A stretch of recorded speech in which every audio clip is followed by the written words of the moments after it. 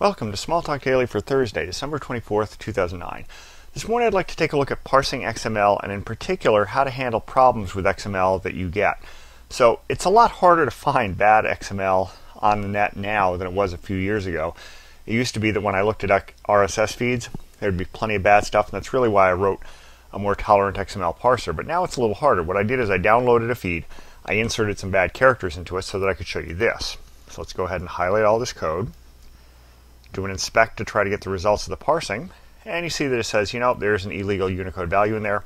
That's not good. Now, in most cases where this was happening a few years ago, and in fact where it might still happen now, would be bad characters in a feed. You don't really care about that if you're talking about something like a news aggregator or any kind of customer facing display of data.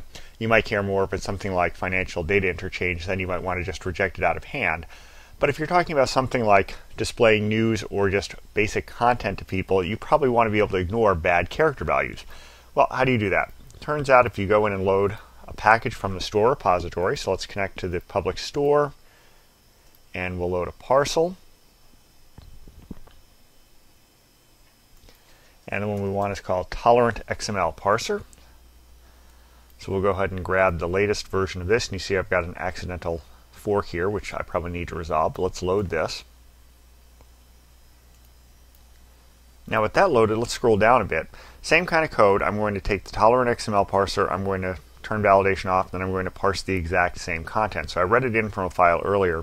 Now I'm going to read the same exact stuff. Let's do this, inspect, and you see it went ahead and merrily read it in.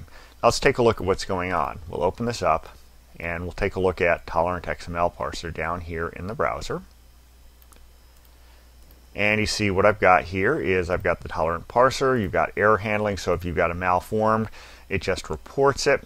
If you've got here the element processing character entry, go down here.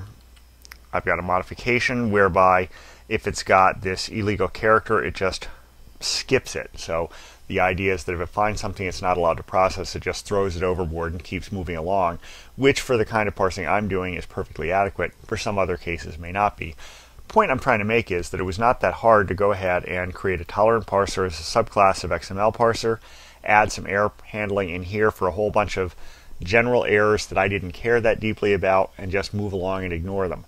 If you care about these, you probably want to use the straight XML parser. If you'd like to be able to just skip past them, this is a nice little tool to use. So that's about it for today. Until next time, have fun with Smalltalk.